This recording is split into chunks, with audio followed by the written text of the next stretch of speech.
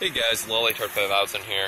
Um, I was talking about in one of my other videos um, that I want to expand this pond.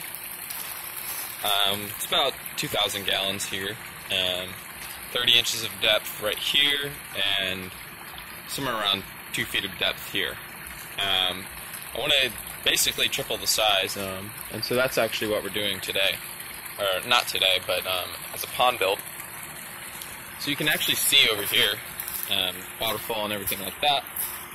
Um, and you can see kind of the edge of what we're working with. Um, we plan on expanding the net out to here, and basically there's like a, a barrier right here. Um, and we're going to take that down, and so the pond will go all the way to here. Um, this has three and a half foot of depth.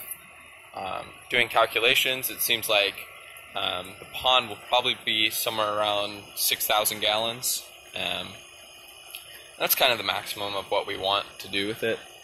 Um, we'll also be basically, if you can see the rope, we'll be putting a stream in right here. Um, that will go up to this over here. Um, right here, we're going to put a bog filter, um, and that will be um, part two of our filtration. Um, part one, we're going to be putting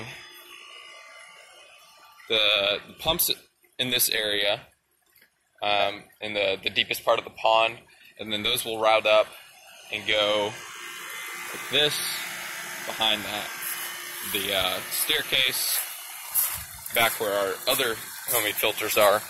Um, now we're gonna probably be taking these down um, and replacing it with a bakki shower.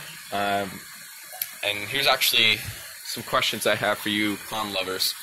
Um, since it's going to be about a 6,000 gallon pond, we're going to put a um, 8,000 gallon per hour pump on it um, on the bakki shower. And what we're going to do is um, basically build it with uh, three layers, or well, three, it's called containers um, 50 gallons each, and each one will house uh, lava rock.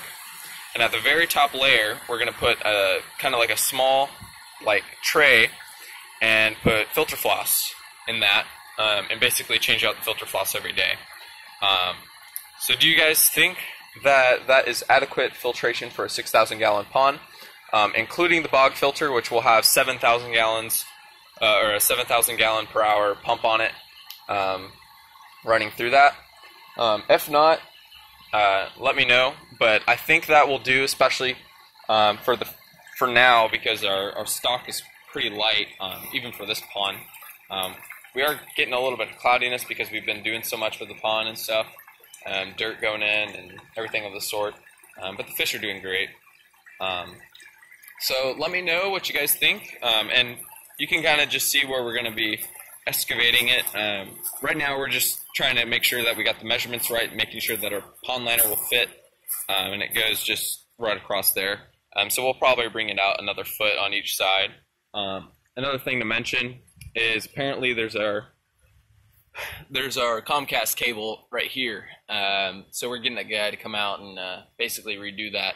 Um, so we're going to be bringing it out like to about here. So you can kind of see how uh, deep it is and everything. But so wish us luck. Um, tell me if the filter system does not seem adequate. Um, and if not, we'll have to figure something else out. Thank you. Bye bye.